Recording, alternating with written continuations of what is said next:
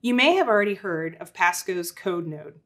This compact device houses multiple sensors and gives the user the ability to program several outputs, such as the RGB LED, speaker, and 5x5 LED array. Now you can add additional measurements, such as position and velocity, using the Code Node cart. The Code Node cart is an accessory that is used along with the Code Node to expand on programming and even reinforce physical science concepts. We just need to insert our Code Node into our cart. The construction of the cart allows for one to tie a string in front, insert a light spring, or even house weights to increase the mass of the vehicle. The cart with the Code Node works in both our SparkVue and Capstone software applications. The introduction of the code node cart gives the user the ability to determine cart position as well as cart velocity. The code node cart records cart position and cart velocity data by monitoring the axle magnet on the code node cart. As mentioned before, the code node cart can be used to reinforce physical science applications along with coding. Velocity is speed in a given direction. With the code node, the cart is able to determine its velocity. To reinforce this concept, students can program the device to display a visual vector on the 5x5 LED array on the code node as the cart is in motion. For this demonstration, we'll be using SparkVue. All right, so I'm going to click on sensor data, and I want to draw your attention here, those of you that are aware of the code node probably see a lot of sensors that you've seen previously, but now we have the addition of cart position and cart velocity.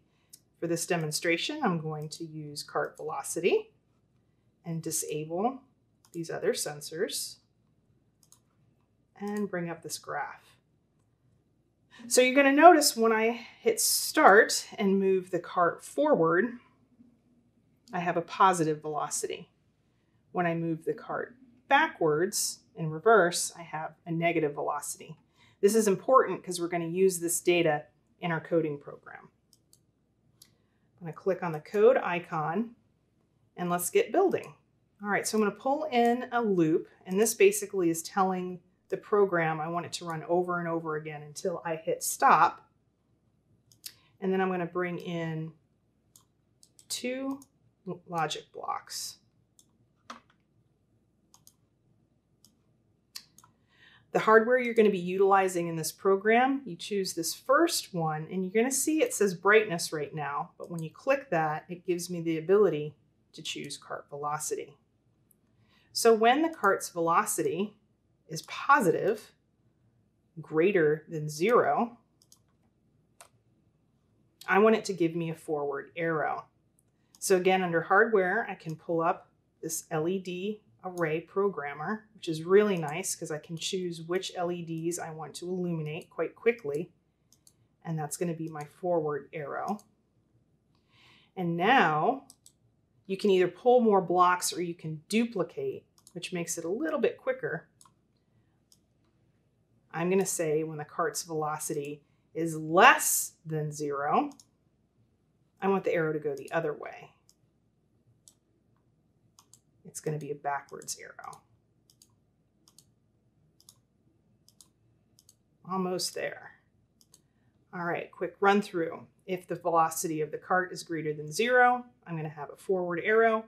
If the cart velocity is less than zero a negative, I'm going to have a backwards arrow. All right, I'm going to pull back up my graph display.